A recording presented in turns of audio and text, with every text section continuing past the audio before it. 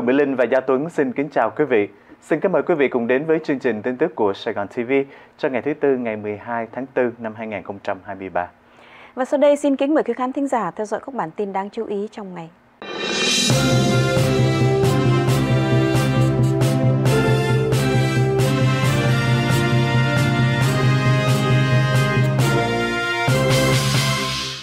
Vâng, kính thưa quý vị, để mở đầu cho chương trình tin tức ngày hôm nay là phần tin thế giới. Ông Macron hứng chỉ trích vì bình luận về Đài Loan. Tổng thống của Pháp Macron đã hứng chỉ trích từ cả hai bờ Đại Tây Dương sau khi ông kêu gọi Âu Châu không theo chân của Hoa Kỳ trong vấn đề Đài Loan.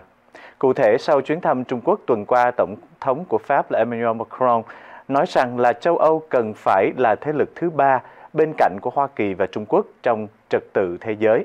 Ông cũng hối thúc châu lục này không nên là chư hầu trong vấn đề Đài Loan nhằm tránh bị vướng vào khủng hoảng không phải của mình. Tuyên bố của ông lập tức vấp phải làn sóng phản ứng dữ dội từ các chính trị gia của Hoa Kỳ và châu Âu. Nghị sĩ của đảng Cộng hòa Marco Rubio, Ủy ban Đối ngoại Thượng viện Hoa Kỳ viết trên Twitter như sau. Nếu ông Macron đại diện cho châu Âu và lập trường của họ là không chọn phe giữa Hoa Kỳ và Trung Quốc trong vấn đề Đài Loan, Hoa Kỳ nên tập trung chính sách đối ngoại và kiềm chế Trung Quốc để châu Âu tự giải quyết cuộc chiến ở Ukraine. Một số nghị sĩ của đảng Cộng hòa như là Chris Smith, chủ tịch một ủy ban Hạ viện về Trung Quốc, còn kêu gọi đánh giá lại quan hệ giữa Hoa Kỳ và Pháp. Số khác cho rằng là ông Macron tiêu chuẩn kép khi Pháp ủng hộ các nỗ lực của Hoa Kỳ trong bảo vệ Ukraine nhưng lại làm ngơ trong vấn đề Đài Loan. Ông Macron cũng vấp phải sự chỉ trích tại châu Âu. Tổng thống của Pháp đang ngày càng tự cô lập ở châu Âu nghị sĩ Norbert Roregen, thành viên của Ủy ban Đối ngoại Quốc hội của Đức đã bình luận như trên. Nghị sĩ Litva Dovil Sakalin cáo buộc là ông Macron đã mù tịch về địa chính trị và hành động trái với lợi ích của Liên minh Âu Châu và NATO. Núi lửa Siverloch ở vùng viễn đông của Nga đã phun trào vào sáng ngày hôm qua theo giờ địa phương và đã đẩy một cột cho bụi cao tới 20 cây số vào bầu khí quyển. Chính quyền của Kamchatka đang theo dõi dòng dung nham này, trong khi cư dân của các thị trấn gần đó đã được yêu cầu ở trong nhà và đeo khẩu trang. Các vụ phun trào bắt đầu vào khoảng 1 giờ sáng ngày hôm qua và đã đạt được cực đại ngay trước 6 giờ sáng, theo các nhà nghiên cứu núi lửa ở Viện Hàn lâm Khoa học của Nga. Tại Cleochi, cách núi Silverloch khoảng chừng 47 cây số, bầu trời bị nhuốm màu đen. Các trường học địa phương đã cho học sinh học từ xa, người dân được yêu cầu ở trong nhà và phải đeo khẩu trang nếu họ cần phải ra ngoài vì bất cứ lý do gì. Khi dùng nham chảy xuống từ núi lửa, nó làm tan chảy tuyết ở trên sườn Silverloch, làm cho gia tăng nguy cơ bị lở đất. Con đường dọc theo sông Kamchatka nối Kleochi với Maiskoe và Kozresk xa hơn trong đất liền hiện nay đang được theo dõi.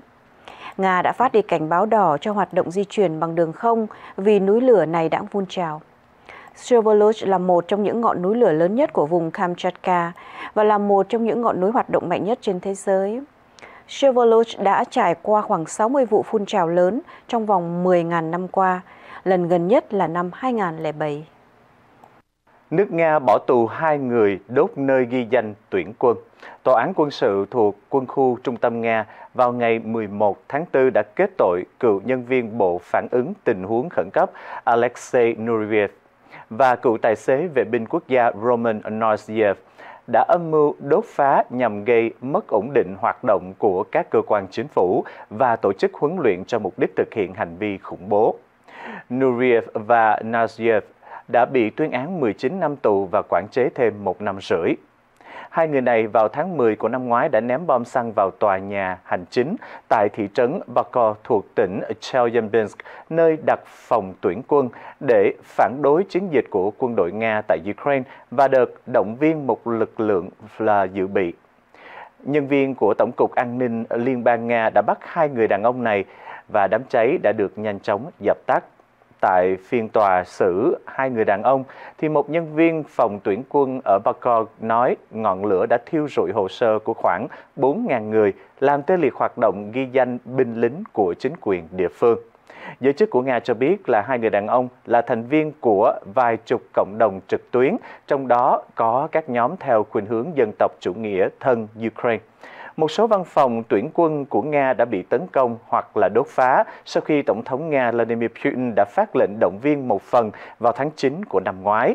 Trong số này thì có vụ nổ súng tại văn phòng tuyển quân ở thị trấn Oslimsk, tỉnh Irkutsk, khiến cho người đứng đầu của bộ phận tuyển dụng bị thương nặng.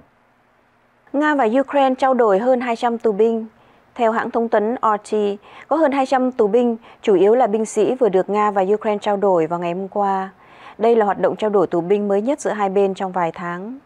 Bộ Quốc phòng của Nga cho biết 106 binh sĩ của nước này đã được phía Ukraine trao trả. Đổi lại, Nga cũng trao trả tự do cho 100 binh sĩ Ukraine. Trong đoạn video do Bộ Quốc phòng của Nga công bố cho thấy là hàng chục binh sĩ được trao trả. Một số người trong số này có biểu hiện cảm xúc mạnh, trong khi những người khác tỏ ra kiệt sức. Theo Bộ Ngoại giao của Nga, một số binh sĩ nước này vừa được trao trả đang ở trong tình trạng nguy hiểm tới tính mạng trong quá trình bị phía Ukraine giam giữ. Tuy nhiên, Bộ Ngoại giao Nga không nêu chi tiết tình trạng này là gì. Còn về phía Ukraine thì tránh văn phòng Tổng thống Ukraine Andriy Yermak cho biết có 100 binh sĩ Ukraine được phía Nga trao trả trong đợt này. Các binh sĩ này phần lớn bị bắt trong trận chiến ở thành phố Mariupol và nhà máy thép Azovstal. Ông Yermak cho biết một số binh sĩ Ukraine được trao trả đã bị thương nặng ở trong các cuộc chiến hoặc là bị mắc các bệnh khác nhau, đồng thời cam kết cung cấp mọi hỗ trợ y tế cần thiết. Moscow và Kiev đã tiến hành trao đổi tù nhân thường xuyên kể từ khi chiến tranh bùng nổ. Lần trao đổi trước đó diễn ra vào ngày 7 tháng 3 với hơn 200 binh sĩ của cả hai phía. Tiếp theo là bản tin liên quan đến Ukraine không ngại kế hoạch phản công bị lộ. Ông Mikhailo Podolyak, cố vấn của Tổng thống Ukraine, trả lời phỏng vấn tờ Ukraine Forum vào ngày 11 tháng 4 và nói rằng những thông tin tình báo bị lộ chẳng khác gì là các bản báo cáo đánh giá và phân tích tình hình chiến sự ở Ukraine. Bởi nội dung những tài liệu đó không chứa những kịch bản tác chiến chiến thuật của cuộc phản công mà Ukraine sắp tiến hành. Tôi không thể hiểu vì sao mọi người lại gọi những tài liệu bị rò rỉ trên là kế hoạch phản công, do những dữ liệu đó không chỉ rõ cuộc phản công đang được chuẩn bị như thế nào, việc tích trữ đạn dược và các nguồn lực ra sao. Việc một ai đó hiểu rõ về những gì chúng tôi sẽ làm trên chiến trường, ở đâu và như thế nào một cách nhẹ nhàng như vậy khá là lạ, ông Podolyak đã cho hay.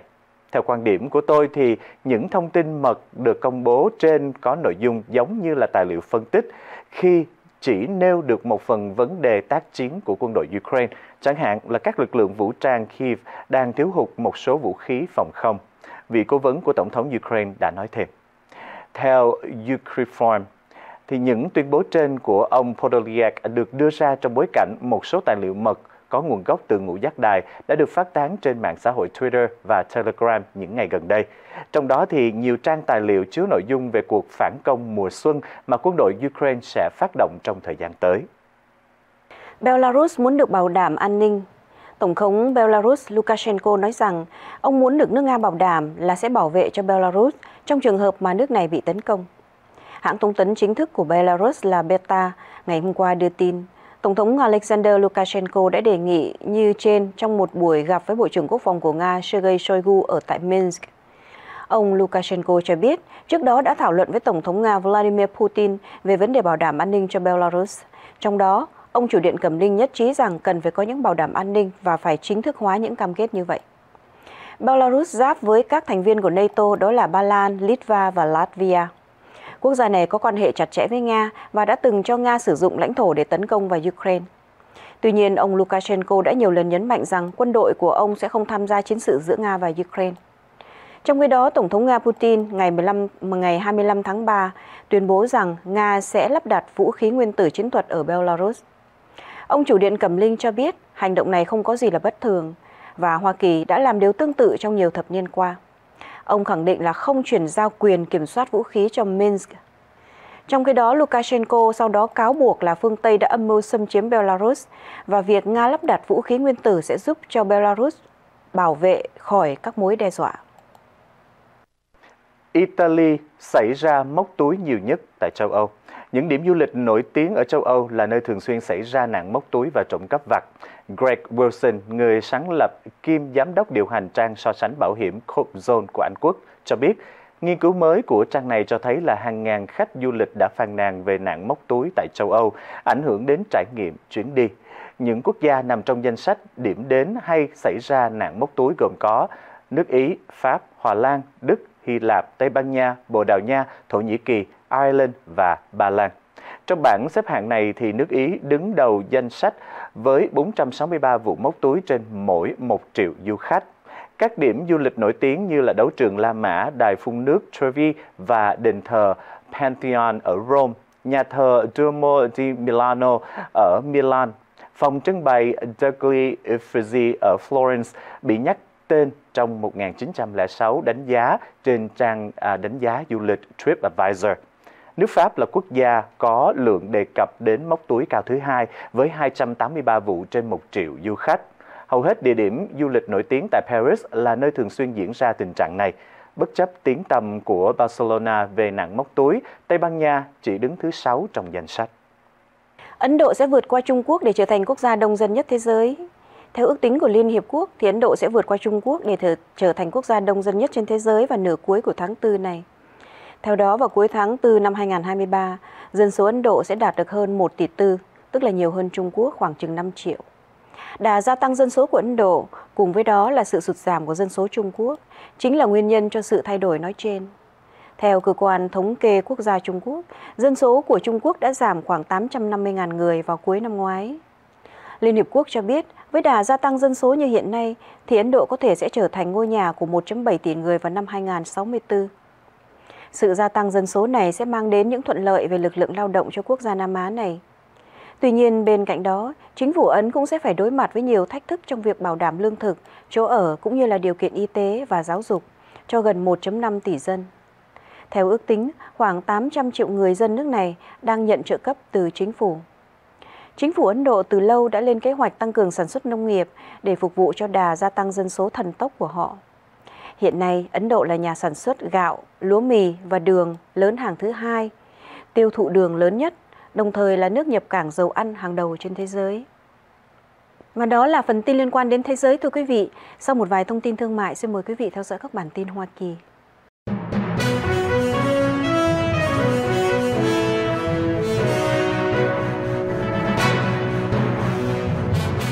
Cảm ơn quý vị vẫn giữ làn sóng của Sài Gòn TV và sau đây là phần tin Hoa Kỳ. Tên lửa phòng không Ireland không thể bảo vệ Tổng thống Biden vì radar lỗi thời. Quân đội của Ireland không thể sử dụng hệ thống tên lửa để bảo vệ Tổng thống Hoa Kỳ Joe Biden khi ông ghé thăm Ireland trong ít ngày tới vì radar đi kèm không còn hoạt động được.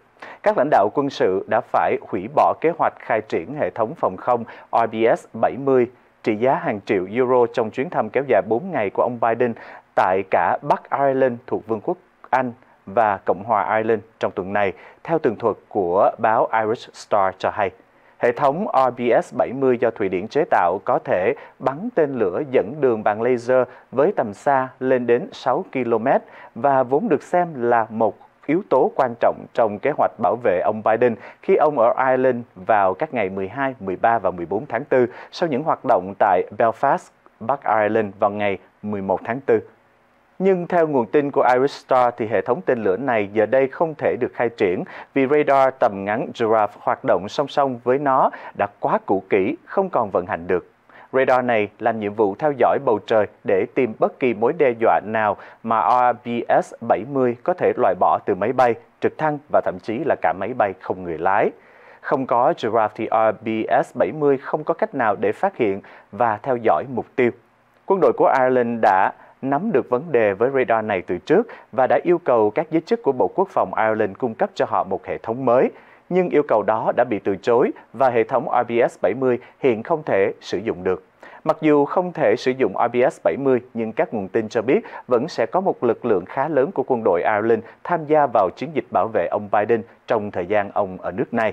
Theo đó, thì lực lượng không quân sẽ thiết lập các vùng cấm bay xung quanh Louth, Dublin và Mayo trong khi lực lượng hải quân sẽ khai triển các tàu dọc bờ biển. Các nguồn tin cho biết là có khả năng các máy bay của không quân Hoa Kỳ sẽ ở chế độ sẵn sàng tại Anh Quốc hoặc là trên một hàng không mẫu hạm ngoài khơi bờ biển phía Tây của Ireland để tuần tra khi ông Biden ở Ireland.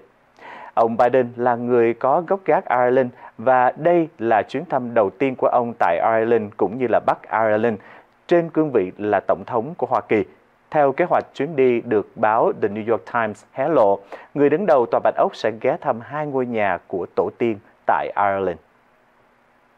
Và bên cạnh đó thì Tổng thống Biden chia sẻ về ý định ông sẽ ra tái tranh cử. Đài NBC vào ngày hôm qua đưa tin, Tổng thống Hoa Kỳ ông Joe Biden chia sẻ rằng ông dự định ra tái tranh cử cho nhiệm kỳ thứ hai. Tôi dự định tranh cử nhưng chúng tôi chưa sẵn sàng để công bố. Tổng thống đã trả lời ông Al Roker là người dẫn chương trình Today ở trên đài. Trước đó, nhà lãnh đạo cũng đã từng chia sẻ về kế hoạch ra tái tranh cử của ông. Trong cuộc gặp uh, trao đổi riêng ở tại Tòa Bạch Ốc vào năm ngoái, Tổng thống nói với nhà hoạt động Al Sharpton rằng ông sẽ tìm kiếm nhiệm kỳ thứ hai. Khi đó thì Tổng thống nói rằng tôi sẽ lại ra tranh cử và chụp ảnh với ông Sharpton ở tại phòng Roosevelt. Theo một lãnh đạo tổ chức phi lợi nhuận, mạng lưới hành động quốc gia cho biết. Phát biểu mới nhất được đưa ra trong bối cảnh các cố vấn của Tòa Bạch Ốc đang chuẩn bị ra quyết định sau cùng trong việc bắt đầu chiến dịch tái tranh cử của Tổng thống Biden. Các cố vấn của ông đang cân nhắc nhiều vấn đề hiện nay như là không có ứng cử viên dân chủ nào khác nổi trội, cũng như cựu Tổng thống Donald Trump bị truy tố và đang chiếm sóng về chính trị và có một cuộc xung đột lớn với các đảng viên Đảng Cộng Hòa ở trong Quốc hội về chi tiêu. Bộ Tư pháp cho Quốc hội xem tài liệu mật của ông Trump, ông Biden và ông Pence. Bộ Tư pháp bắt đầu cho nhóm nhà lãnh đạo của cả hai đảng ở Quốc hội xem một vài trong số tài liệu mật tịch thu tại nhà của cựu Tổng thống Donald Trump, Tổng thống Joe Biden và cựu Phó Tổng thống Mike Pence. Những người biết vụ này xác nhận với ABC News vào ngày thứ Ba, ngày 11 tháng 4.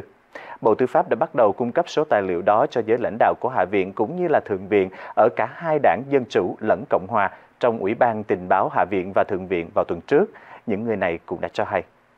Diễn biến này xảy ra sau nhiều tháng thương lượng ngày càng căng thẳng giữa các nhà lập pháp với Bộ Tư pháp.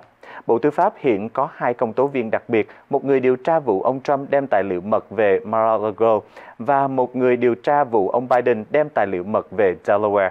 Hiện chưa rõ Bộ Tư pháp cho nhóm nhà lãnh đạo xem số tài liệu đó với mức độ nào vì hai cuộc điều tra hình sự đối với ông Trump và ông Biden vẫn đang diễn ra. Điều trần trước Quốc hội cách đây hai tuần thì ông Merrick Garland, Bộ trưởng Tư pháp đã thừa nhận là hai cuộc điều tra đó rất nhạy cảm khi ông bị hỏi là tại sao Bộ Tư pháp cứ do dự cho Quốc hội xem vài tài liệu tịch thu ở nhà ông Trump và ông Biden cũng như là ông Pence. Tuy nhiên thì trong buổi điều trần thì ông Garland đã cũng lưu ý là cuộc thương lượng giữa hai bên đang tiến bộ. Ông Alvin Bragg là tránh biện lý của Manhattan của New York vào hôm thứ Ba 11 tháng 4 đã nộp đơn kiện dân biểu Jim Jordan của Đảng Cộng hòa Ohio, vốn là chủ tịch của Ủy ban Tư pháp Hạ viện, để nhằm ngăn chặn Đảng Cộng hòa ở Quốc hội điều tra về việc ông Bragg điều tra cựu Tổng thống Donald Trump, theo NBC News đưa tin. Ở trong đơn kiện, ông Bragg cho rằng nếu làm theo yêu cầu của ông Jordan, bao gồm có việc gửi chát đòi cho ông Mark Pomerantz, cựu phụ tá của ông Bragg, thì sẽ gây hại tức thì đến bí mật và tài liệu về cuộc điều tra. Ông Bragg đề nghị tòa ngăn chặn chat của ông Jordan gửi cho ông Pomerantz. Dân biểu Jim Jordan đang đòi ông Pomerantz ra khai trong cuộc điều tra của Ủy ban Tư pháp Hạ viện về việc cựu Tổng thống Trump bị truy tố trong vụ chi tiền bịt miệng tài tử phim người lớn là cô Stormy Daniels.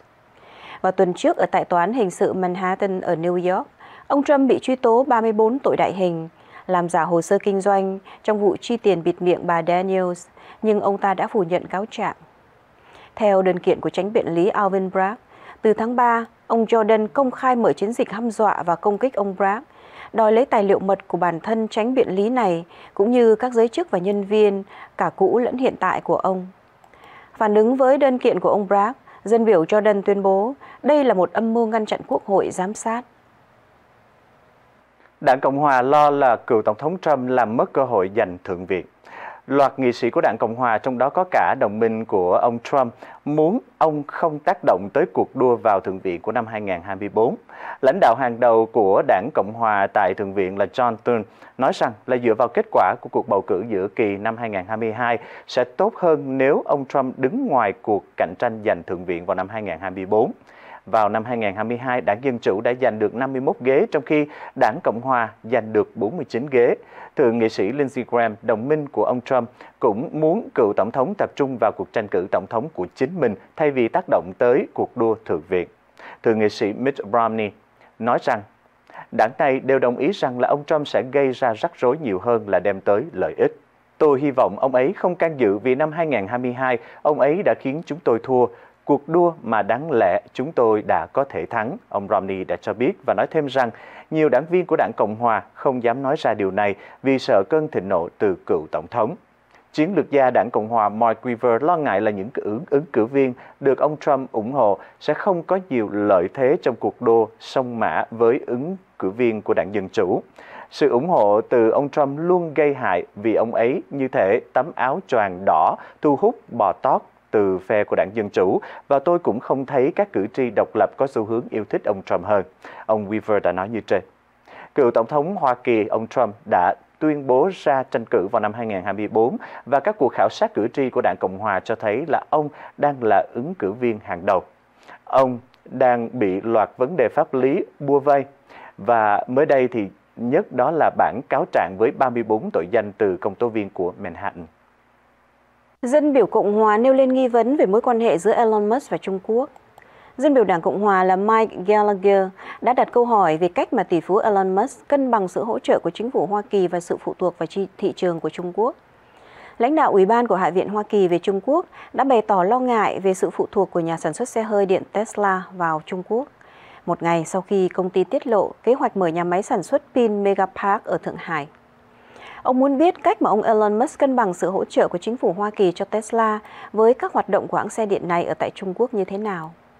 Tesla đã công bố thông tin mở nhà máy trong một tweet vào ngày Chủ nhật và truyền thông chính phủ Trung Quốc cho biết ban đầu họ sẽ sản xuất 10.000 pin Megapark mỗi năm, tương đương với khoảng 40 GWh lưu trữ năng lượng. Số này sẽ bổ sung cho một nhà máy khổng lồ hiện nay có ở Thượng Hải, chuyên sản xuất xe điện. Elon Musk đã đáp lại những lời chỉ trích ở trên Twitter rằng Tesla đang tăng sản lượng nhanh chóng ở Texas, California và Nevada.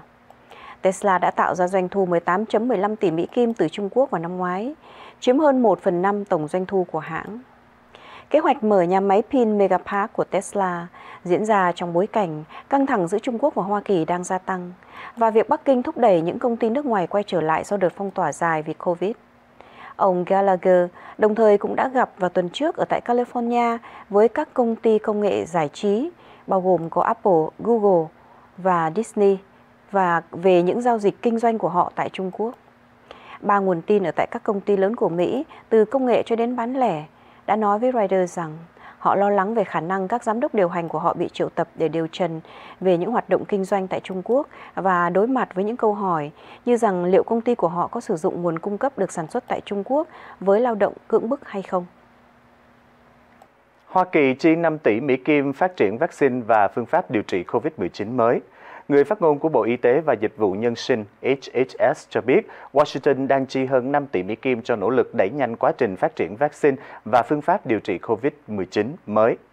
Khoản đầu tư được gọi là dự án NextGen nhằm mục đích bảo vệ người Hoa Kỳ tốt hơn khỏi virus SARS-CoV-2 gây ra bệnh COVID-19. Dự án lần đầu đã được công bố trong cuộc phỏng vấn với giới chức của HHS với báo Washington Post vào ngày 11 tháng 4. Chính quyền của Tổng thống Joe Biden sẽ chi tối thiểu là 5 tỷ Mỹ Kim để hợp tác với công ty tư nhân Tương tự cách mà tiếp cận của dự án Operation Warp Speed dưới thời của cựu Tổng thống Donald Trump nhằm đẩy nhanh quá trình phát triển và phân phối vaccine vào năm 2020. Quan chức của HHS nói thêm là dự án bao gồm tất cả giai đoạn phát triển, từ nghiên cứu trong phòng thí nghiệm, thử nghiệm lâm sàng cho đến phân phối.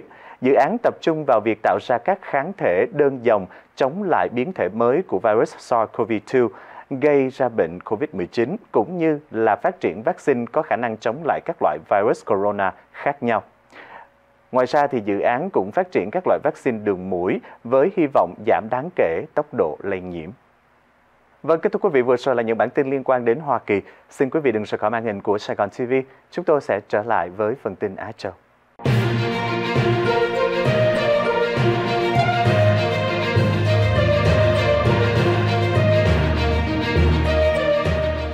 Trở lại với chương trình tin tức thưa quý vị, sau đây là những phần tin Á Châu. Hoa Kỳ và Philippines tập trận lớn chưa từng có.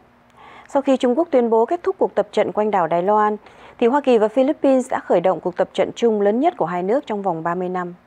Theo Bloomberg, cuộc tập trận thường niên mang tên Balikatan của quân đội Hoa Kỳ và Philippines bắt đầu vào ngày hôm qua sẽ tập trung phát triển những chiến dịch kiểm soát an ninh hàng hải và đổ bộ.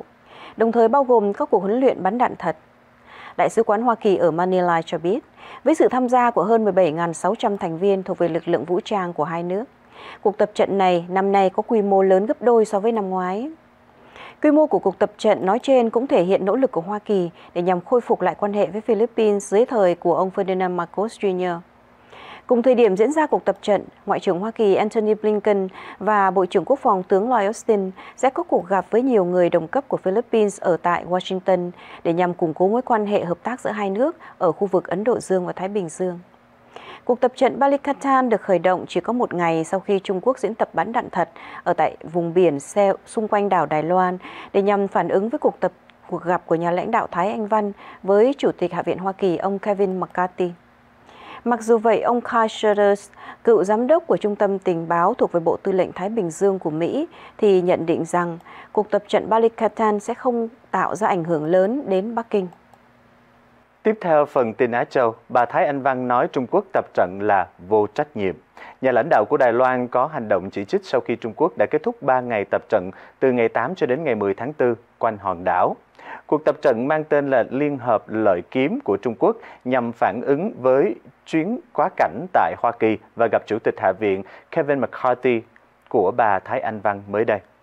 Theo thời báo Hoàn Cầu, cuộc tập trận này được tổ chức để tiếp tục gây áp lực lên các lực lượng đòi độc lập cho Đài Loan và bảo vệ chủ quyền quốc gia cũng như là toàn vẹn lãnh thổ của Trung Quốc.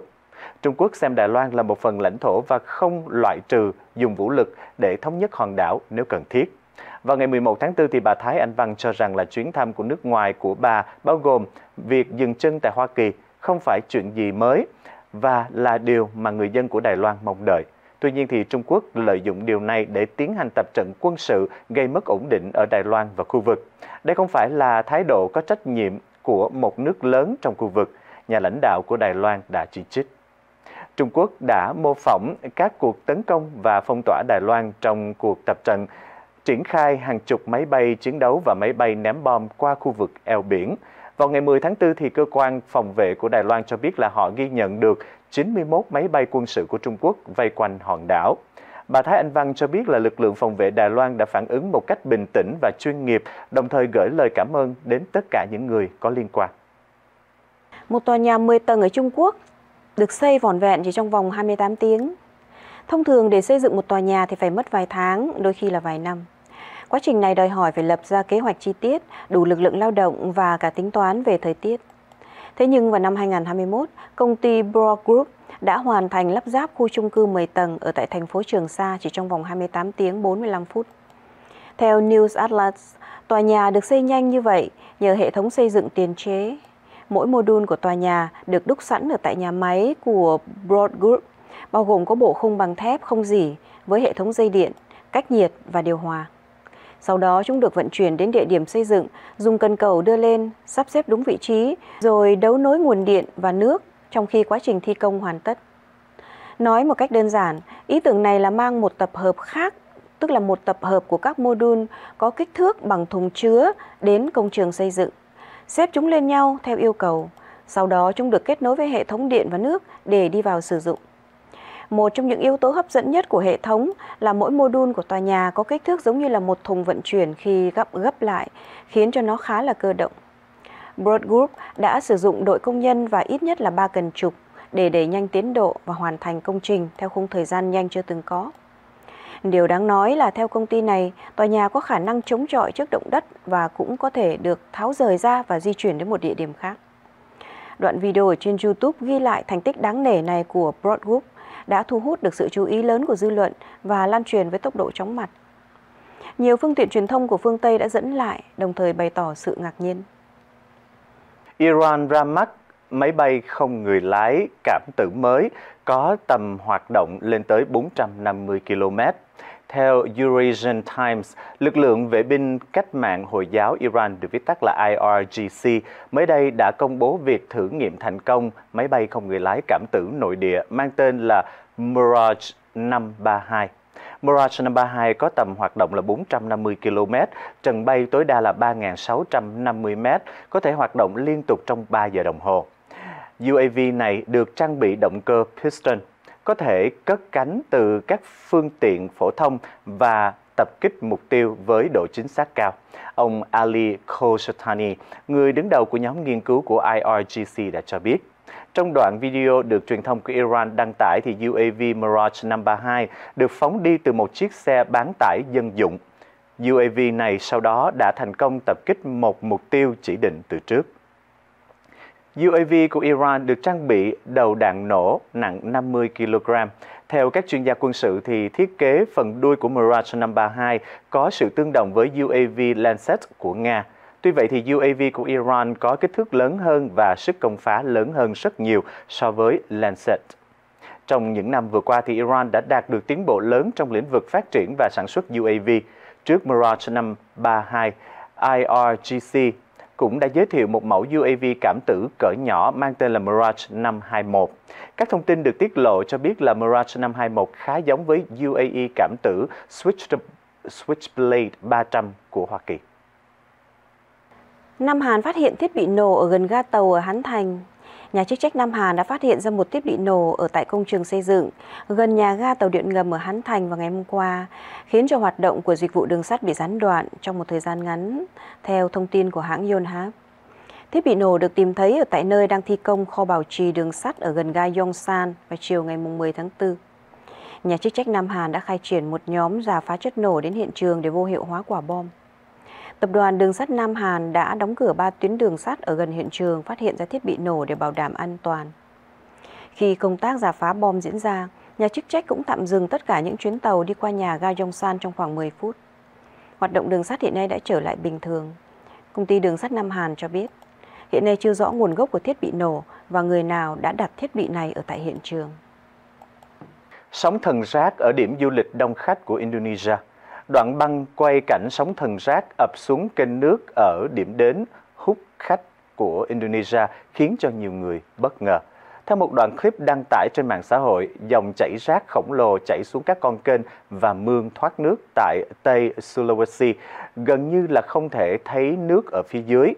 Nhà môi trường học là Gary Benjagib, người chia sẻ đoạn video ghi lời bình luận kèm theo như sau. Đây là các cơn sóng thần rác ở Indonesia và tất cả sẽ trôi ra biển. Chúng ta không thể lờ chúng đi. Những con sóng thần rác này là vấn đề mới nhất trong loạt video lan tỏa cho thấy vấn đề rác thải nghiêm trọng tại Indonesia. Rác thải là vấn đề lớn ở Bali và Indonesia đã ghi nhận 68.5 triệu tấn rác thải vào năm 2021.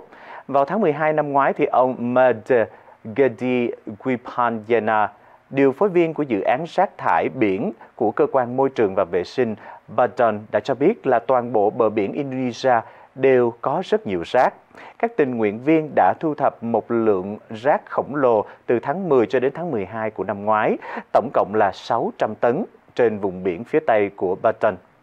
Từ tháng 12 cho đến tháng 3, mưa lớn và gió mạnh sẽ đẩy rác xuôi theo các dòng sông qua vùng này và sau đó chúng sẽ tích tụ ở bờ biển. Thị trường xe điện của Trung Quốc đua nhau dìm giá khiến Tesla không lọt nổi vào trong top 10 sản phẩm giảm mạnh nhất. Hãng tin Bloomberg nhận định đây là thời điểm thích hợp nhất để mua xe điện ở tại Trung Quốc khi những thương hiệu đang tham gia vào cuộc chiến dìm giá khốc liệt ngày càng căng thẳng. Số liệu của China Auto Market cho thấy trong quý 1 năm nay, khoảng 20% sản phẩm trên thị trường tương đương với 649 mẫu xe điện đã giảm giá hơn 10.000 nhân dân tệ, tương đương với khoảng 1.500 Mỹ Kim. Tỷ lệ này cao hơn rất nhiều so với khoảng 12% vào tháng 2 năm nay và 6% cùng kỳ năm ngoái. Theo Bloomberg, nhiều hãng xe dù không muốn nhưng vẫn phải giảm giá khi mà những đối thủ khác đồng loạt tham chiến. Trong khi đó, có nhiều thương hiệu thì chỉ đơn giản muốn mở rộng thị phần và sẵn sàng dìm giá vì có sự hỗ trợ của chính phủ. Ví dụ vào tháng 3 năm nay, hãng xe điện quốc doanh Dongfeng Motor ở tại Hubei đã nhận được ưu đãi lớn từ chính quyền địa phương qua đó giảm giá mạnh hơn 40% dòng sản phẩm Citroen C6. Cuộc chiến dìm giá hiện nay khốc liệt cho đến mức mà Tesla là ông lớn ở trong làng xe điện cũng chẳng thể lọt nổi vào trong top 10 sản phẩm giảm giá mạnh nhất ở tại Trung Quốc. Tiếp đó, các sản phẩm của Audi và BMW đến từ Đức cũng nằm ở trong danh sách top 10 dòng xe điện giảm giá mạnh nhất. Qua đó cho thấy mức độ dìm giá lan rộng ở trong ngành.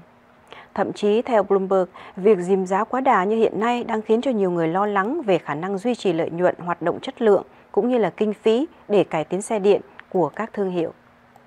Và đó là những phần tin liên quan đến Á Châu thưa quý vị. Sau một vài thông tin thương mại, xin mời quý vị theo dõi các bản tin Việt Nam.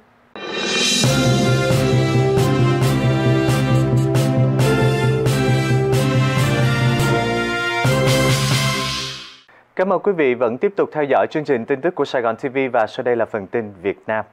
Tổng thống Biden có thể thăm Việt Nam đẩy quan hệ lên đối tác chiến lược.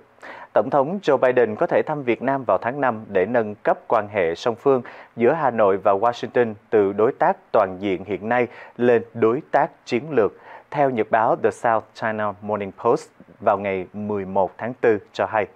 South China Morning Post dẫn lời ông Carl Thayer, giáo sư danh dự Đại học University of New South Wales của nước Úc và là một chuyên gia về quốc phòng Việt Nam nói rằng cuộc họp của Ngoại trưởng Anthony Blinken với các giới chức của Việt Nam sẽ là chuẩn bị cơ bản cho chuyến thăm của Tổng thống Biden nhiều phần vào tháng 5 trùng với các chuyến công du của nhà lãnh đạo Hoa Kỳ tới Hiroshima của Nhật Bản để dự thượng đỉnh G17 và tới Sydney của Úc để dự thượng đỉnh của các nước thuộc nhóm Quad, bao gồm có Hoa Kỳ, Nhật Bản, Úc và Ấn Độ.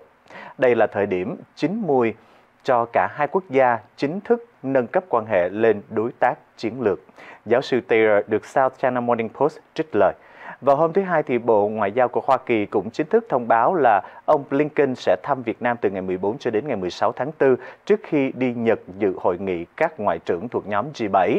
Vào ngày 25 tháng 7 của năm 2013, Việt Nam và Hoa Kỳ đã chính thức thiết lập quan hệ đối tác toàn diện nhân dịp ông Trương Tấn Sang, Chủ tịch nước, thăm Hoa Kỳ và được Tổng thống Barack Obama tiếp đón trong Tòa Bạch Ốc. Mặc dù là thị trường xuất cảng lớn nhất của Việt Nam, Hoa Kỳ hiện chỉ thuộc hàng thứ ba trong cấp bậc quan hệ đối tác với Việt Nam. Sáng hôm qua, tiếp tục phiên họp lần thứ 22 Ủy ban Thường vụ Quốc hội, Chủ tịch Vương Đình Huệ nêu rõ, thời gian qua có hai sai phạm lớn trong công tác phòng chống dịch COVID-19 là và đó là vụ chuyến bay giải cứu và Việt Á. Chuyến bay giải cứu kit test Việt Á cũng là huy động nguồn lực, cũng là phòng chống dịch, không nằm ngoài cuộc giám sát. Cả báo cáo không nhắc gì đến hai vụ việc này cả. Nghị quyết cũng không nói gì cả. Chủ tịch Quốc hội nói và đề nghị đoàn giám sát phải làm rõ vấn đề này. Dẫn thông tin thời gian gần đây, các phương tiện truyền thông đại chúng đưa tin các ca mắc Covid đang gia tăng. Chủ tịch Quốc hội Vương Đình Huệ đã đặt câu hỏi, vaccine hiện nay còn bao nhiêu liều và phân bổ như thế nào? Mấy nay truyền hình đưa tin các ca mắc Covid đang tăng lên, tới đây không biết có thể sử dụng tiếp vaccine hay không. Trong 3 năm, tổng số tiền huy động được đề phòng và chống dịch Covid là gần 240.000 tỷ đồng. Có gần 190.000 tỷ đồng huy động từ nguồn vốn của ngân sách nhà nước và hơn 47.000 tỷ đồng từ các nguồn khác. Theo kết quả giám sát chuyên đề về huy động, quản lý và sử dụng nguồn lực để chống đại dịch, ông Huệ cho rằng cần phải đánh giá kỹ lưỡng cung cấp số liệu cụ thể để làm rõ trách nhiệm của các bên liên quan. Hà Nội muốn Trung Quốc làm thêm dự án đường sắt đô thị ở thủ đô Việt Nam. Hà Nội mong muốn phía của Trung Quốc tiếp tục khai triển dự án đường sắt đô thị Hà Đông Xuân Mai dựa trên kinh nghiệm dự án Cát Linh Hà Đông. Mong muốn vừa nêu do ông Đinh Tiến Dũng, bí thư thành ủy của Hà Nội nêu ra với đại sứ của Trung Quốc Hùng Ba trong cuộc gặp gỡ ở Hà Nội vào ngày 11 tháng 4 mạng báo Nhân dân, cơ quan ngôn luận của Đảng Cộng sản Việt Nam loan tin về cuộc gặp được gọi là chào xã giao của Đại sứ Trung Quốc tại Việt Nam, ông Hùng Ba, với lãnh đạo thủ đô Hà Nội. Ông Đinh Tiến Dũng nêu rằng là dựa trên nền tảng quan hệ đối tác chiến lược toàn diện Việt Nam và Trung Quốc và chính sách mở cửa trở lại của Bắc Kinh sau đại dịch COVID-19, thành phố Hà Nội tin là thời điểm này là thuận lợi cho việc thực hiện các hoạt động hợp tác cụ thể với các địa phương của Trung Quốc – dự án đường sắt trên cao Cát Linh Hà Đông do tổng thầu EPC của Trung Quốc thiết kế vào năm 2008, bắt đầu khởi công vào năm 2011, nhiều lần điều chỉnh vốn, đội vốn hơn 205%, 4 lần dời ngày hoạt động thương mại. Đến giữa năm 2021, Bộ Tài chính của Việt Nam phải ứng tiền từ quỹ tích lũy để trả nợ gốc khoản vay theo cam kết của chính phủ Hà Nội trong hiệp định ký với Trung Quốc Tổng mức đầu tư ban đầu được phê chuẩn vào năm 2008 là 553 triệu Mỹ Kim. Đến năm 2016 thì tổng mức đầu tư của dự án tăng lên hơn 868 triệu Mỹ Kim. Trong số này thì vốn vay của Trung Quốc là 669 triệu Mỹ Kim và vốn đối ứng của Việt Nam là 198 triệu Mỹ Kim. Dự án bị xem là biểu tượng trễ hạn và đội vốn qua năm đời của Bộ trưởng Giao thông Vận tải, lỗ 160 tỷ trong năm đầu hoạt động. Phú Quốc vắng khách du lịch bởi vì giá vé máy bay đã gia tăng gấp đôi. Nhiều khách sạn ở Phú Quốc phải bỏ phụ thu nhưng lượng khách chưa đến 50%. Hướng dẫn viên thiếu việc làm vì giá vé máy bay đến Phú Quốc đã tăng gấp đôi. VN Express hôm qua đã dẫn lời ông Bùi Áng Văn, Tổng quản lý Kim Hoa Resort của Phú Quốc, cho hay là 3 tuần trước kỳ nghỉ cuối tháng 4 mà khách sạn chống khoảng 55% số phòng. Trong khi một tháng trước, lượng khách đặt đã lên đến 80%, khoảng chừng từ 80 đến 85%. Sau đó thì khách báo là hủy dần. Vắng khách vào dịp lễ, ông này phải bỏ phụ thu tiền phòng và ăn uống hạ giá. Nếu khách không đến cũng phải đành chịu. Không riêng những cơ sở lưu trú vắng khách, hướng dẫn viên ở Phú Quốc cũng phải chịu cảnh đói việc làm. Ông Trương Công Tâm là Chủ tịch Hiệp hội Hướng dẫn viên chuyên nghiệp của Phú Quốc, cho biết là dịp lễ cuối tháng 4 hàng năm, kể cả hai năm dịch là 2021 và 2022, Phú Quốc luôn luôn đông khách và hướng dẫn viên. Các công ty lữ hành phải ký hợp đồng thuê hướng dẫn viên trước đó từ 1 đến 2 tháng, nhưng nay chỉ khoảng 35% hướng dẫn viên có lịch để đi tour. Tổng thư ký của Hội Đầu tư Phát triển Du lịch Phú Quốc nhận xét rằng giá vé máy bay tăng khoảng từ gấp 2 lần so với cùng kỳ của năm trước đối với các chặng chính như là Hà Nội, Sài Gòn đã gần ngay như lập tức làm giảm đi thị phần và về lâu dài sẽ gây mất đà tăng trưởng du lịch Phú Quốc. Thực tế, từ Tết âm lịch đến nay, lượng khách du lịch đến Phú Quốc đã có dấu hiệu chững lại. Hiệu trưởng bị điều tra ăn chặn 800 triệu đồng quỹ phụ huynh. Ông Nguyễn Phi Hùng, hiệu trưởng Trung học phổ thông Nguyễn Đình Chiểu, bị cáo buộc nâng khống các khoản chi từ quỹ ban đại diện cha mẹ học sinh, chiếm đoạt 800 triệu đồng tương đương với 35.000 Mỹ Kim. Chiều ngày 11 tháng 4 thì ông Hùng, hiệu trưởng của trường Trung học phổ thông ở huyện Đắk Rơ Lấp, bị Phòng Cảnh sát Kinh tế Công an tỉnh Đắk Nông khởi tố, bị can và tạm giam để điều tra về hành vi tham ô tài sản. Cụ thể thì ông Nguyễn Phi Hùng, hiệu trưởng của trường Trung học phổ thông Nguyễn Đình Chiểu, lợi dụng việc được ban đại diện cha mẹ học sinh ủy quyền thu quản lý sử dụng đối với các khoản thu của học sinh tại trường nên đã báo cáo ban đại diện cha mẹ học sinh ít hơn thực tế số tiền thu được, nâng khống các chi phí sử dụng từ nguồn tiền thu được. Cơ quan điều tra cho rằng là ông Hùng còn nâng khống nhiều chi phí khi sử dụng nguồn tiền này. Trong 3 năm học từ năm 2019 đến năm 2022, ông đã chiếm đoạt khoảng 35.000 Mỹ Kim. Hiện vụ án được cơ quan cảnh sát điều tra công an tỉnh Đắk Nông điều tra và làm rõ. Liên quan tới vụ việc này thì Sở Giáo dục và Đào tạo Đắk Nông cho biết đã chỉ đạo một phó hiệu trưởng phụ trách công việc của trường thay ông Nguyễn Phi Hùng. Với giá 4 triệu đồng, khách có thể bay tự do ở trên khinh khí cầu để ngắm cố đô Huế. Nếu yêu thích bầu trời và sự mạo hiểm, thì hoạt động bay tự do ở trên khinh khí cầu ngắm cố đô Huế sẽ là một trải nghiệm thú vị dành cho khách du lịch trong tuần lễ Festival Huế năm 2023. Đây là năm thứ hai lễ hội khinh khí cầu quốc tế Huế nét đẹp cố đô được diễn ra, mang đến cho du khách ở trong và ngoài nước được trải nghiệm mới mẻ. Du khách sẽ được khám phá một Huế hoàn toàn khác biệt với sự trẻ trung và năng động trong mùa festival.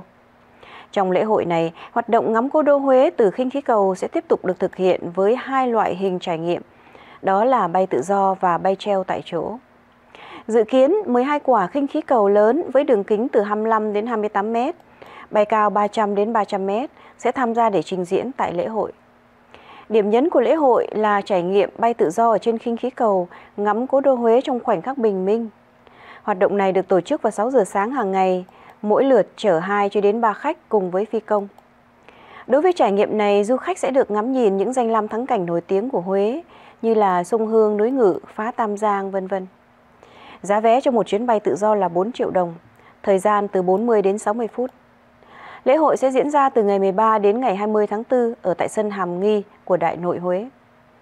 Từ ngày mùng 5 tháng 5 đến mùng 5 tháng 6, lễ hội ẩm thực với 20 gian hàng ở tại Trung tâm Thể thao Thừa Thiên Huế sẽ mang đến cho du khách những món ngon đặc trưng của Huế và các vùng miền ở trên cả nước. Xử phạt nghiêm cuộc thi Hoa hậu chuyển giới Việt Nam 2023. Sở Văn hóa và Thể thao tại Sài Gòn thông báo cho biết Cuộc thi Đại sứ Hoàng Mỹ 2023 là hoạt động thi người đẹp chưa được sự chấp thuận của nhà chức trách. Vào tối ngày 10 tháng 4, chung kết Đại sứ Hoàng Mỹ Hoa hậu chuyển giới Việt Nam hay còn được gọi là Miss International Queen Việt Nam 2023 diễn ra tại một phim trường thuộc quận 12 ở Sài Gòn và được phát livestream. Ngay sau đêm chung kết thì đại diện của Sở Văn hóa và Thể thao tại Sài Gòn thông báo cho biết là cuộc thi Đại sứ Hoàng Mỹ 2023 là hoạt động thi người đẹp chưa được sự chấp thuận của cơ quan chức năng và sở đã cho biết là sẽ phối hợp với các cơ quan làm rõ các nội dung liên quan và xử phạt nghiêm theo quy định của pháp luật. Trước đó, buổi công bố Top 20 Hoa hậu chuyển giới Việt Nam do công ty ca sĩ chuyển giới Hương Giang tổ chức vào 14 giờ ngày 23 tháng 2 đã bị hủy vào phút chót vì không được Sở Thông tin và Truyền thông ở Sài Gòn cấp phép. Khi đó thì Hoa hậu Hương Giang, Á hậu Hoàng Thùy cùng với các thí sinh đã có mặt tại địa điểm tổ chức để sẵn sàng tham dự. Lý do hồ sơ xin cấp phép họp báo công bố top 20 của cuộc thi không được chấp thuận là vì chưa đủ thủ tục. Sầu riêng tươi ở Đông Nam Á đang được người tiêu dùng Trung Quốc yêu thích. Qua đó là bùng nổ của cạnh tranh giữa những quốc gia xuất cảng mặt hàng này, đó là Thái Lan, Việt Nam và Philippines. Theo Tân Hoa Xã, Thái Lan hiện nay vẫn là nhà cung cấp sầu riêng lớn nhất cho thị trường Trung Quốc, với hơn 3.85 tỷ Mỹ Kim, chiếm khoảng 96% kim ngạch xuất cảng của nước này. Cuộc chiến xuất cảng sầu riêng càng trở nên nóng hơn sau khi Hiệp định Đối tác Kinh tế Toàn diện khu vực chính thức có hiệu lực vào ngày 1 tháng Giêng năm ngoái, giúp cho Trung Quốc nhập cảng các loại trái cây tươi từ các nước Đông Nam Á dễ dàng hơn. Vì thế, không chỉ có Thái Lan hay Việt Nam, mà một số quốc gia trồng sầu riêng khác ở trong khu vực Đông Nam Á như Mã Lai, Philippines hay là Campuchia cũng đẩy mạnh xúc tiến việc xuất cảng loại trái cây vua này vào Trung Quốc. Báo Thái Rat nhận xét rằng sầu riêng Việt Nam có nhiều lợi thế hơn hẳn so với các nước láng giềng khác ở trong khu vực Đông Nam Á như là Thái Lan hay là Mã Lai. Cụ thể, do Việt Nam có thời vụ thu hoạch sầu riêng tương đối khá dài, sản lượng hàng năm khá cao, đạt được 600.000 tấn một năm, và khoảng cách địa lý từ Việt Nam đến Trung Quốc cũng gần hơn so với những quốc gia Đông Nam Á khác, đã giúp giảm đi phần nào chi phí vận chuyển. Hơn 30 năm khổ sở vì quy hoạch trồng lấn giữa Sài Gòn. Đó là tình trạng của hơn 50 gia đình ở phường 3 quận Bình Thạnh trong khu vực trồng lấn giữa hai dự án khu dân cư Miếu Nổi quận Bình Thạnh và khu dân cư Rạch Miễu quận Phú Nhuận được Ủy ban Nhân dân thành phố Sài Gòn phê duyệt quy hoạch từ năm 1992 liền kề với khu Phan Xích Long hiện đại và sầm uất dọc đường số 11 đường Nguyễn Lâm từ hẻm 106 cho đến hẻm 148 thuộc phường 3 quận Bình Thạnh là các căn nhà cấp 4 cũ kỹ có phần sập sệ, Ông Nguyễn Văn Toàn, 66 tuổi, ngụ nhà số 148 sẹt 75 Nguyễn Lâm, cho hay là gia đình của ông gồm có 3 thế hệ với 14 nhân khẩu phải trang trúc trong căn nhà chật trội mà không thể cải tạo, cây xây cất gì được ngoài 5 lần nâng nền để chống ngập. Ông cho biết là ông cùng với nhiều gia đình khác thường xuyên khiếu nại phản ảnh tại các cuộc họp cử tri và gửi đơn đến các cấp chính quyền về việc bỏ quy hoạch treo. Nửa đời người của ông sống quá khổ sở. Ngay cả làm thủ tục về cư trú cho các thành viên của gia đình cũng khó vì nhà nằm trong quy hoạch. Tương tự thì ông Đào Duy Thuận 63 tuổi, cho hay mua căn nhà số 128 sạc 19 Nguyễn Lâm từ năm 1992 nhưng liền sau đó dính quy hoạch nên mãi tới năm 2021 gia đình của ông mới chuyển được hộ khẩu về đây. Hàng trăm người mang võng và chiếu nằm chờ xuyên đêm để làm thủ tục rút bảo hiểm xã hội một lần do một số cơ sở vùng ven Sài Gòn quá tải. Theo ghi nhận vào 3 giờ sáng ngày hôm qua, hơn 50 người mang chiếu, bạt và áo mưa trải trước trụ sở bảo hiểm xã hội huyện Hóc Môn ở trên đường Lê Thị Hà thuộc xã Tân Xuân chờ làm thủ tục bảo hiểm xã hội một lần. Theo người dân, mỗi ngày lượng hồ sơ ở cơ sở này được giải quyết không nhiều nên họ phải đến để giữ chỗ từ đêm hôm trước. Nhiều người ngồi tựa đầu vào nhau hoặc là nằm chờ trước lối ra vào của trụ sở bảo hiểm xã hội huyện Hóc Môn. Họ mang theo nước uống, đồ ăn, mền gối để nằm, nghỉ tạm bỡ dưới vỉa hè. Thông tin từ Bảo hiểm xã hội của Sài Gòn, quý 1 năm nay số người nhận trợ cấp một lần của toàn thành phố là gần 26.000 người, tăng hơn 6% so với quý 4 năm trước do khó khăn về kinh tế. Ngoài Hóc Môn, số người nhận thất nghiệp đã gia tăng đột biến và quá tải ở quận 12, Bình Tân, những địa phương nhiều khu công nghiệp và nhà máy và cũng như là đông công nhân. Và đó là những phần tin liên quan đến Việt Nam thưa quý vị. Sau một vài thông tin thương mại, xin mời quý vị theo dõi các bản tin địa phương.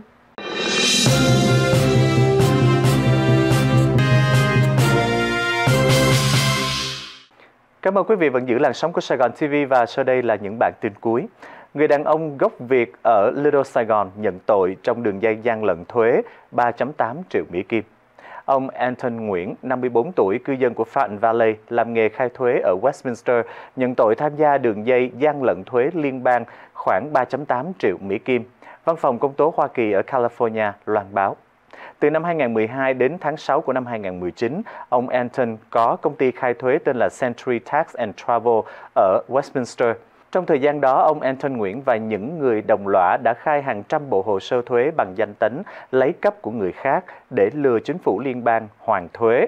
Khai gian tổng cộng là 400.000 Mỹ Kim theo thỏa thuận nhận tội của ông Anton. Một trong những người đồng lõa với ông Anton Nguyễn là ông John Trần, cư dân của Fountain Valley, từng làm nhân viên xã hội Orange County từ tháng 7 của năm 1994 tới tháng 10 năm 2018. Ông John đã tiếp tay cho ông Anton bằng cách lấy cắp số an sinh xã hội và thông tin cá nhân khác của khách hàng của ông John. Nhiều người trong số đó mới nhập cư tại Hoa Kỳ. Hai ông này đã cùng với những người đồng lõa khác dùng thông tin lấy cấp đó để lấy tiền của chính phủ liên bang tiểu bang California, Orange County cũng như là những định chế tài chính. Theo cáo trạng đã cho hay, tổng cộng thì ông Anton và những người đồng lõa đã gian lận của Hoa Kỳ là gần 4 triệu Mỹ Kim. Ông Anton sẽ bị kết án vào ngày 24 tháng 7 và ông ta có thể ngồi tù liên bang tối đa là 5 năm. Người mẹ bị truy tố bởi vì con trai 6 tuổi bắn vào cô giáo. Công tố viên thông báo là người mẹ bị cáo buộc tội bỏ bê trẻ em sau khi con trai lớp 1 của bà bắn trọng thương, giáo viên. Cơ quan công tố thành phố Newport News thuộc tiểu về tiểu bang Virginia thông báo là bà Deja Taylor bị đại bồi thẩm đoàn cáo buộc liều lĩnh khi để một khẩu súng nạp sẵn đạn gây nguy hiểm cho trẻ em. Ngoài ra, bà Taylor còn bị cáo buộc bỏ bê trẻ em. Luật sư James Ellison, đại diện cho bà Deja Taylor đã nói thân chủ sẽ tự trình diện vào cuối tuần này. Bà Taylor là mẹ của một học sinh 6 tuổi ở trường tiểu học Richneck. Hôm mùng 6 tháng Giêng, cậu bé cất khẩu súng lục Taurus 9mm do mẹ sở hữu hợp pháp vào trong cặp sách và rồi rút súng bắn vào cô giáo Abigail Zwener, 25 tuổi ở tại trường. Cô Zwener bị thương ở bàn tay, ở ngực và phải phẫu thuật 4 lần. Con trai của bà Taylor thì không bị truy tố. Gia đình của cậu bé sau đó cho hay là con trai bị khuyết tật và khẩu súng được cất ở một chỗ an toàn trong nhà. Hồi đầu tháng 4, cô giáo Swener đã khởi kiện giới chức của học khu và lãnh đạo của nhà trường với cáo buộc sơ suất và phớt lờ yêu cầu lục soát cặp sách của học sinh và yêu cầu bồi thường 40 triệu Mỹ Kim. Cô giáo Swener nói rằng cậu bé có tiền sử bộc phát bạo lực ở tại trường và ở nhà và đã từng bóp cổ giáo viên mẫu giáo. Howard Nguyen là trưởng công tố viên của thành phố cho hay cuộc điều tra về vụ nổ súng ở trong trường học vẫn còn tiếp diễn. Ông sẽ yêu cầu thành lập một đại bồi thẩm đoàn đặc biệt gồm có các công dân được trao quyền hạn để điều tra để xem xét công tác bảo đảm an ninh của ngôi trường. Nếu đại bồi thẩm đoàn đặc biệt xác định có thêm người phải chịu trách nhiệm hình sự, theo luật thì họ có thể bổ sung cáo trạng. Vâng, kính thưa quý vị và sau đây là bản tin cuối, trả nửa triệu Mỹ Kim để dẹp quán cà phê Bikini. Cuộc chiến pháp lý về quy định trang phục dành cho nhân viên pha chế sắp kết thúc sau 6 năm khi thành phố Everett, tiểu bang Washington đồng ý trả 500.000 Mỹ Kim cho Giovanna Edge, chủ quán của Hillbilly Hardee's cùng với các nguyên đơn khác.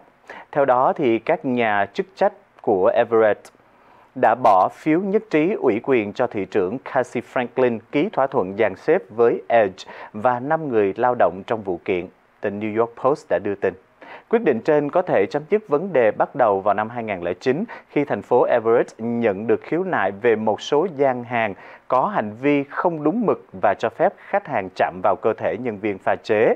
Sau khi cảnh sát mở cuộc điều tra thì bốn người đã bị bắt và truy tố. Vào năm 2017, thành phố đã ban hành sắc lệnh về trang phục yêu cầu nhân viên, chủ sở hữu và người điều hành các cơ sở phục vụ nhanh từ quầy cà phê cho đến nhà hàng phải mặc quần áo che kín phần trên và dưới cơ, thể, nếu không sẽ bị phạt.